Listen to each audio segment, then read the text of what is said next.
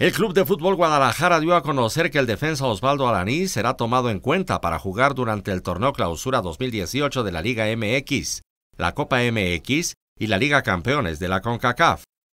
A través de un comunicado, Chivas indicó en conjunto con el jugador Osvaldo Alanís y su representante, el señor Manfredi Caleca, que se coincidió en que la mejor forma de apoyar a Osvaldo para lograr sus sueños de jugar en Europa y ganarse un lugar para participar en el Mundial de Rusia 2018 es que juegue con el club hasta terminar el presente torneo clausura 2018.